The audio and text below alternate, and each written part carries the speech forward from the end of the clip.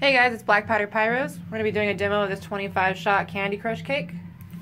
I recommend this cake. It has a lot of strobing effect to it. Um, it's also a really big hitter. It's one of my favorites. Yeah, it has good color to it. Um, probably should have grabbed a case of these guys.